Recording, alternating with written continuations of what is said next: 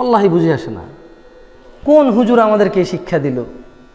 হুজুরের দোষ দিয়ে যাচ্ছি, আমাদের বাপমার দোষ দিচ্ছি, কখন? যখন আমরা যুবক। যখন আমরা সব ভালো মন্দ বুঝি, আমরা টাকার লাভ লস বুঝি, ব্যবসার লাভ লস বুঝি, বিয়ে করার ক্ষেত্রে লাভ লস বুঝি, সুন্দর অসুন্দর বুঝি, ওই সময় এসে আমরা অধার্মিকতা করার জন্য বাপমায় দোষ দিয়ে দিচ্ছি। কী করব শেখ? আমাদের বাপমার আমাদেরকে শিখায় না আমাদের হুজুররা আমাদেরকে এভাবে শিখেছে সব দোষ হুজুরের। সব দোষ বাপমার ওনার কোনো দোষ নাই। আরে যখন আপনার বাপ মার, আপনার উপরে, যখন আপনি আপনার বাপমার আন্ডারে ছিলেন, ওই দিনগুলো তো আল্লাহ আপনাকে জিজ্ঞেস করবে না যে আপনি কেন ওটা করেন না কেন ওটা করেন নাই। যার বিবেক নেই, তাকে কি আল্লাহ জিজ্ঞেস করবে? যে শিশু তাকে আল্লাহ জিজ্ঞেস করবে? যে পাগল তাকে আল্লাহ জিজ্ঞেস করবে? জিজ্ঞেস করবে কাকে? বিবেকবানকে। তো আপনি তো বুঝতেছেন এখন যেটা খারাপ, তো ভালো করেন? না, এখন আর ভালো করবে না। এই জন্যই আসলে আল্লাহ সুবাহ তালা বলেছেন ফাওয়াইলুল্লিল মুসল্লিন অথপর জাহান নামে যাবে নামাজিরা। দেখেন, বেনামাজির কথা কিন্তু বলে নাই। আপনি যদি একটু সুন্দর করে চিন্তা করেন, যারা আপনারা সলাত আদায় করেন না, আল্লাহ কিন্তু হিসেব থেকে বাদে দিয়ে দিয়েছে, সলাত যারা আদায় করে না। মানে জান্নাত যে জান্নাত, ও হিসেবের মধ্যে রাখে নাই। আপনি বুঝতেছেন কত ভয়ঙ্কর জায়গায় আছেন আপনি? মানে আপনার করোনা আর আপনি আইসিইউ পাচ্ছেন না। এর চেয়ে খারাপ অবস্থায় আছেন আপনি। যিনি বেনামাজি, ওনার উদাহরণ হচ্ছে তা কারও করোনা সেভেন্টি পার্সেন্ট ড্যামেজ হয়ে গেছে, ভিতরে যা আছে, আর আইসিইউ নেই। ওয়াল্লাহি, আপনার উচিত। ঠিক এই জুমাটা আজকের যে জুমা দুই রাকাত, এই দুই রাকাতকে মনে করতে হবে যে স্টার্ট খালাস, এই ইঞ্জিন আর বন্ধ হবে না। এই ইমান আর বন্ধ হবে না। এখন যে দুই রাকাত ছলাত আদায় করেছি আজকের এই দুই রাকাত ছলাতে আমার সর্বশেষ মানে টাইম যা আমি পার করেছি সলাৎ ছাড়া, এরপর আর আমার এমন একটা দিন অতিবাহিত হবে না, রাত অতিবাহিত অতিবাহিত হবে না, যেখানে আমার সতেরো রাকাত নামাজ বাদ যাবে। আপনি যদি কোরআনকে বুঝতে চান, আপনি একটু ডিফারেন্ট ওয়েতে বোঝার চেষ্টা করেন। যে বলো যে ফেলা সল্লা। সে বিশ্বাস করেনি, সলাত আদায় করেনি। তার মানে যে সলাত আদায় করে না, আল্লাহ তাকে অবিশ্বাসী বলেছে। কি বলেছে? সে দাবি করে সে বিশ্বাসী, কিন্তু আসলে সে বিশ্বাস করে নাই। সে কি করে নাই? বিশ্বাস করে নাই। করলে সে সলাত আদায় করতো। তাহলে আল্লাহ কি বললেন? ফওয়াইলুল্লিল মুসল্লিন। অথপর জাহান নামে যাবে কারা? কোন নামাজি? আল্লাদিনা হুম আন সলাতি ইমসাহুন। যারা তাদের নামাজে অমনোযোগী। আপনি বলতে পারেন এই অমনোযোগটা কি? আমি যখন খুব ছোট ছিলাম, তখন আমি ভাবতাম যে আচ্ছা এটা সাউন্ড একটু কমা দিবেন নাকি?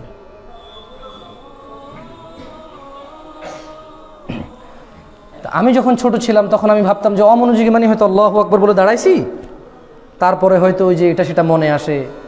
মন একদিকে চলে যাচ্ছে। এক একটা মনে পড়ে, এটা হয়তো অমনোযোগী।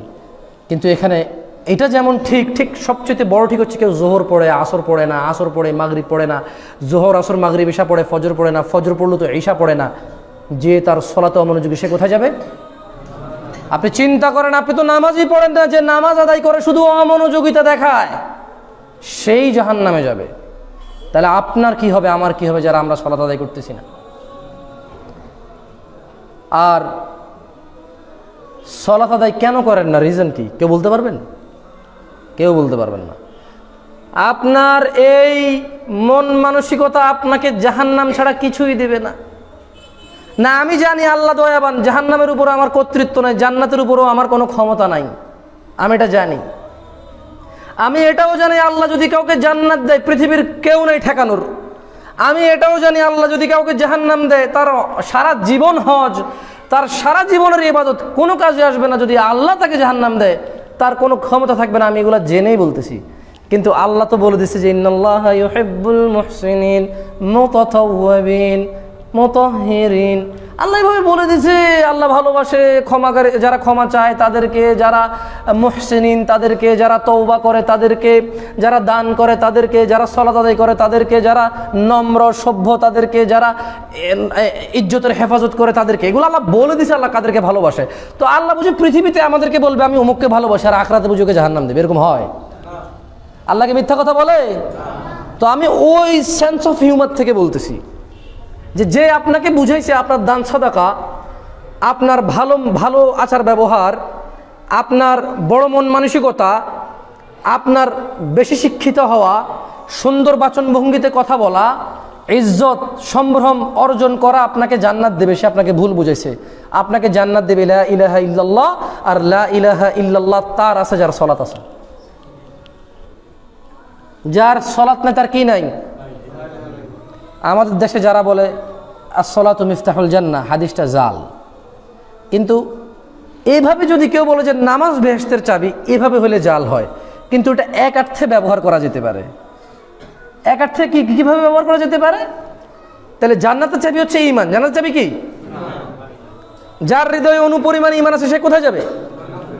তাহলে জান্নাতের চাবি কি হলো? ইমান আচ্ছা এবার এই লোকটা যে মুমিন, এটার প্রমাণ কি? সলা তাহলে যারা ডাইরেক্টলি বলে যে আসলা তুমি ইফতাহুল জান্না তারা ভুল বলে। কিন্তু সলাত হচ্ছে ইমানের সর্বোত্তম পরিচয়। যার সলা নাই তার ইমান নাই। এই জন্য রাসুল্লাহ সাল্লাহ সাল্লাম বলেছেন যে, নিশ্চয়ই তাদের এবং আমাদের মধ্যে পার্থক্য হচ্ছে কি? নামাজ ত্যাগ করা। এই জন্য তিনি বলেছেন, যেই ব্যক্তি এক ওয়াক্ত সলাৎ ত্যাগ করল সেই ওই ওয়াক্তের কাফের। যে নিয়মিত সলাৎ ত্যাগ করল সে একেবারেই কাফের। দেখেন, এখানে মানুষ কোরআনুল করিম হিন্দুদের পায়ে রাখে, ঘর থেকে বেরিয়ে আসে তার কাছে এটা অন্যায় মনে হয়। আমি বলছি না এটা ন্যায়, আমি বলছি না এটা খুব ভালো কাজ, আমি বলছি না যেটা প্রতিবাদযোগ্য না। এখানে মানুষ বিএনপি সমস্যা হলে মিছিল করে, মিটিং করে, অবরোধ করে, অন্যায় হয়ে গেছে, জুলুম হয়ে গেছে। আওয়ামী লীগ সমস্যা হয়ে গেলে মিছিল করে, মিটিং করে, অবরোধ করে, সমস্যা হয়ে গেছে। কত দল আছে এগুলোর নাম মনে নেই দুটার নাম মনে আছে। এগুলো সব ওরা মিছিল করে মিটিং মিটিং করে। এখানে একটা মহিলা তার মানে সে রাতের এগারোটা বাজে আসবে, তাকে কেন নিষেধ করা হলো? আরও দশটা মহিলা যায় প্রতিবাদ করে, তার কাছে অন্যায় মনে হয়। একটা পুরুষ, পুরুষকে বিবাহ করবে, কেউ না করলে বিশ জন মিলে রাস্তায় নেমে আসে, তার কাছে মনে হয় অন্য হয়ে গেছে, প্রতিবাদ করা লাগবে। আজ পর্যন্ত কাউকে দেখি নাই যে মানে অমুক জায়গায় একটা অধার্মিক কাজ হচ্ছে কন্টিনিউসলি কাজ হচ্ছে, কেউ প্রতিবাদ করবে, এরকম প্রতিবাদী নাই। এরকম নাই। একটা মেয়েকে মেরে ফেলল, সবাই রাস্তা নেমে আসে। কারও আইনের উপরে ভরসা নেই। অথচ করা উচিত। অথচ কি? করা উচিত। সবাই সবাই প্রতিবাদী, কিন্তু কেউ নামাজি না। এই জন্য মারামারি করে, মানুষের গাড়ি ভেঙে ফেলে, মানুষের গাড়ি জ্বালিয়ে দেয়, রাস্তা অবরুদ্ধ করে। সলাতে না তো। পাচক তো সলাত যদি হয়, তার ভিতরে ইনসাফ সৃষ্টি হয়। কি সৃষ্টি হয়? ইনসাফ ও আদল সৃষ্টি হয়। সে বোঝে কোনটা নেয় কোনটা অন্যায়। আল্লাহ ওয়া আমাদেরকে বুঝার তৌফিক দান করুন। আকুলু কওলি হাযা ওয়াস্তাগফিরুল্লাহ লি ওয়া লিসাইরিল মুমিনিন ফাস্তাগফিরুহু ইন্নাহু হুয়াল গফুরুর রহিম। আপনারা সবাই ইস্তেগফার করেন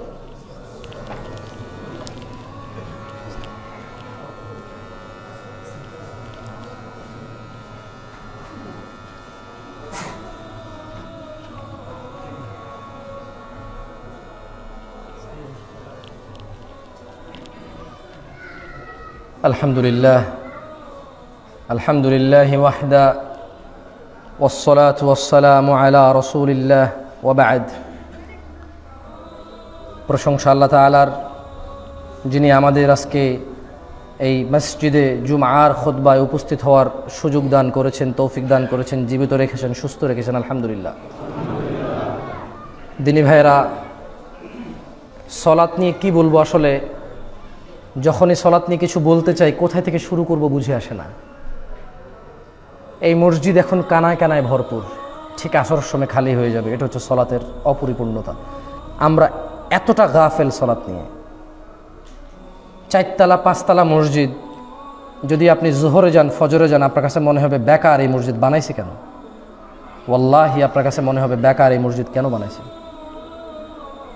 আপনি যদি কোনো ছোট শহর থেকে উঠে আসা মানুষ হন, ছোট গ্রাম থেকে উঠে আসা মানুষ হন, আর কোনো বড় শহরে যান, ছয়তলা, সাততলা মসজিদে ঢোকেন, আপনি মুসল্লি দেখে বলতে বাধ্য হবেন এরা কি তামাশা পেয়েছে ধর্মটাকে?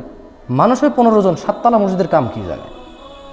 ওই লোকটা জানে না যে শুক্রবার এখানে জায়গা হয় না। শুক্রবার এখানে জায়গা হয় না। উল্টা এলাকার বিচক্ষণ, বুদ্ধিমান ব্যক্তিরা এসে বলে যে, এখানে কিছু কার্পেট বিছিয়ে দিলে তো হয়। দেখেন এরা মুসল্লিরা দাঁড়ায় আছে। এইরকম পরিস্থিতি তৈরি হয়। ওই গ্রামের গ্রাম্য, যার টিনের মসজিদ, যার মাটি মানে ওই যে কোনো রকমের একটা মসজিদ হ্যাঁ যার মসজিদই নাই, কারও একটা রুমের ভিতরে সলাত আদায় করে, আপনি ভাইবেন না এরকম নাই, আছে বাংলাদেশে, আছে। ভদ্রলোক ইমান আনছে ইমান আনার পর সলাতের গুরুত্ব বুঝছে, দু চারজন ময় মুরব্বী নিয়ে নামাজ পড়ে, মসজিদ নাই, তো নিজের তিন রুম আছে, এক রুম ছেড়ে দিছে মসজিদের জন্য। ওখানেই পড়ে, কারণ মসজিদ বানানোর কি নাই, টাকা নাই। ওখান থেকে যদি কেউ এসে এই মসজিদে আসে আর সময়টা যদি ফজর হয়, সময়টা যদি আসর হয়, মাগরিব হয়, এশা হয়, জোহর হয় জুমানা হয়, সে বলবে যে, আল্লাহ, মানুষ কত বোকা। আমাদের একটা মসজিদ নেই, নামাজ পড়ার আমার এক রুমে পড়ি, জায়গা হয় না, তিনটা জামাত করি আমরা। আর এরা কি করছে? মানুষ হয় বারো জন, এত বড় মসজিদ। অত উপলব্ধি করতে পারবে না যে, জুমার দিনে আসমান থেকে কিছু মুসলিম নাজিল হয়।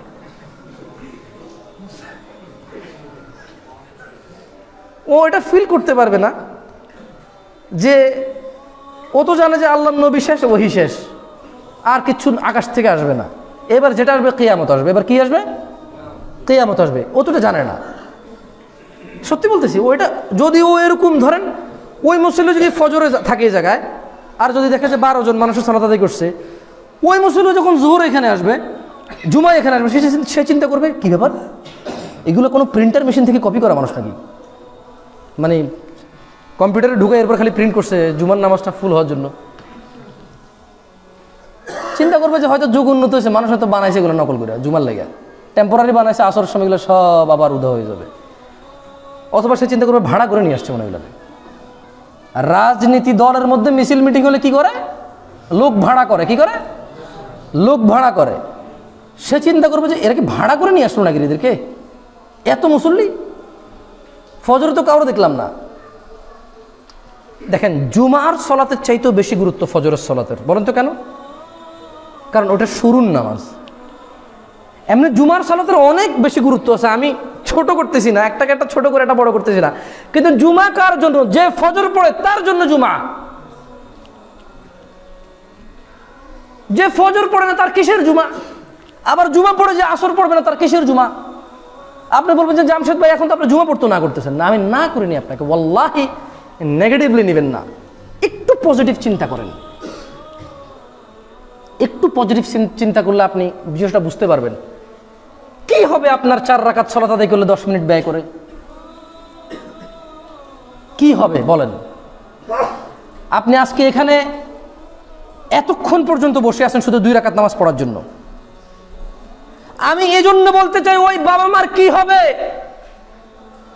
যেই বাবা মা তার ছেলে সন্তানকে, যেই এলাকার মুরব্বী তার পাড়া প্রতিবেশীকে জুমার গুরুত্ব বুঝাইতে পারছে, অথচ ফজরের পারে নাই। আর বলে যে, যুবক, কথা শুনে না, সে সরাতে আসে না। এখন জুমে আসলো কীভাবে? আমি মসজিদের ইমামকে বলতে চাই, আমি এলাকার মুরব্বীকে বলতে চাই আমি বাবা আর মাকে বলতে চাই, বড় ভাই আর বড় বোনকে বলতে চাই, সমাজের বিশিষ্ট সম্মানী ব্যক্তিত্বকে বলতে চাই, জুমায় আসলো কেন লোকগুলো? তারা কেন জুমায় আসলো? বিকজ তাদেরকে এটা বোঝানো হয়েছে ছোটবেলা থেকে, জুমা ভেরি ইম্পর্টেন্ট ডে জুমা অত্যন্ত গুরুত্বপূর্ণ সলা, জুমার সলাদ তিনটা না পড়লে আল্লাহ মনে মোহর মেরে দেয়। লাগাতার তিনটা সলাদ ত্যাগ করলে সে আবার ইমান এনে মুসলমান হতে হয়। এটা তাকে বুঝানো হয়েছে যে জুমার নামাজ না পড়লে দোকান বলে, তুই জুমা পড়স নাই? কিরে, শুনলাম তুই নাকি জুমা পড়স না? কিরে বেড়া, তুই জুমা পড়স নাই? সে টেনশনে পড়ে যায়, কি করবে? জুমা পড়ি না মানে একটা কিছু করে ফেলছে, আল্লাহ। বাট ফজর না পড়লে কেউ বলে না কি ফজর আসস নাই? আর, যে বলবে সেই তো আসে নাই। আপনি আপনার এলাকায় একটা উদাহরণ দিয়ে যাচ্ছি, জানেন আবার কবে আসা হবে বা আসব। আপনি ঈদের নামাজ পড়িয়েন না, ঘরে যদি থাকেন কেউ তো দেখল না, আপনি কাজ করবেন। এই ঈদের নামাজ চলতেছে, আপনি রাস্তায় হাঁটেন, পড়িয়েন না। যত মানুষ ঈদের এই নামাজ থেকে বেরোবে, বেড়া, তুই ঈদের নামাজ পড়লি না? হ্যাঁ? কি? আল্লাহর ঈদের নামাজ পড়লি না? মানুষ জালেম হলে এত বড় জালেম বেটা মানে ঈদের নামাজ পড়স নাই। ফোন দিয়ে বলবে। আরে, তুই বুঝি এত নষ্ট হয়ে গেলি? একটু ঈদের নামাজটা পড়স না? না আরেকজন ফোন দিয়ে বলবে যে, কিরে, মানুষ নষ্ট হইলে হয়, এত নষ্ট? বেটা, আমরা মুসলমানের সন্তান, অন্তত ঈদ, আমাকে বছরে একবার আসে, অন্তত ঈদের নামাজটা পড়। তার মানে তার কাছে গুরুত্ব কোন নামাজের? আমি কি বলছি ঈদের নামাজ পড়িয়েন না? আমি বলছি, ওকে, আমি বাবা আর মাকে বলতে চাই। আমি ওই বাবাকে বলতে চাই যে বাবার ও অধীনে তার ছেলে খায়। তার ছেলে পড়ে, তার টাকায় পড়ে, তার টাকায় বিয়ে করবে, তার দেওয়া জায়গায় থাকবে, সে মরে গেলে এগুলো ভোগ করবে যে, ওই বাপকে বলতে চাই, আমি ওই মাকে বলতে চাই, যে মায়ের সামনে ছেলে অবৈধ মহিলা নিয়ে আসে না, মদ খায় না, গাজা খায় না, গালাগালি করে না, মারামারি করে না, তার ছেলে সন্তান তাকে এতটা ইজ্জত করে, ওই মাকে আমি বলতে চাই, আপনার ছেলে ঈদের নামাজে কেন আসে? ওই বাবাকে বলতে চাই, কেন আপনার ছেলে আজকে জুমায় আসলো? অথচ আসরে আসে না। আর আপনি বলছেন যে ছেলে বকাটে। আসল কথা হলো, বাপও জুমার সলাত আদায়কারী, ছেলেও জুমার সলাত আদায়কারী। ব্যাস। বাপও জুমার সলাত আদায়কারী, ছেলেও? বাপও আসর পড়ে না, ছেলেও পড়ে না। বরঞ্চ এরকম বহু আছে, ছেলে পড়ে, বাপ পড়ে না।